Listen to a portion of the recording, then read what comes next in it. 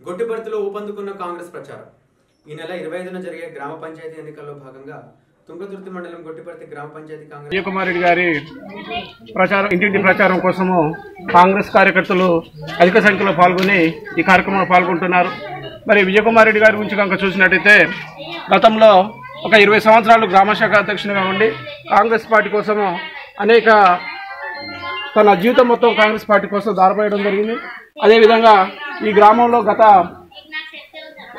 పది పదిహేను సంవత్సరాల క్రితము ఎంపీటీసీగా ఈ గ్రామానికి వారు చేసినటువంటి సేవలు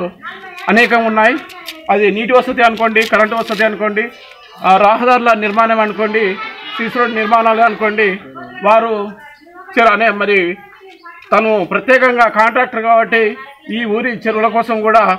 తను అనేక పర్యాయాలు అనేక కష్టాలు సుఖాలు అనుభవిస్తూ ఈ ఇక్కడ ఉన్నటువంటి ఈ బడుగు బలహీన వర్గాలకు ఆశాజ్యోతిగా ఉంటూ మరి ఈ గ్రామం కోసం తను నిరంతరం కృషి చేయడం జరిగింది కాబట్టి ఈ గ్రామంలో ఉన్నటువంటి కార్యకర్తలు తనని గెలిపించుకొని ఈ గొట్టిపర్తి గ్రామాన్ని మరోసారి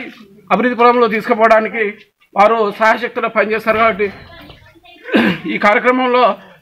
మరి గ్రామ శాఖ అధ్యక్షులు చిలకల వెంకన్న అదేవిధంగా వార్డు సభ్యులు అన్ని వాళ్ళకు సంబంధించినటువంటి వార్డు సభ్యులు మరి సీనియర్ కాంగ్రెస్ నాయకులు కేతిరెడ్డి నిరంజన్ రెడ్డి గారు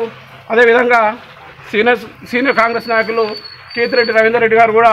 ఈ కార్యక్రమంలో పాల్గొనడం జరుగుతుంది.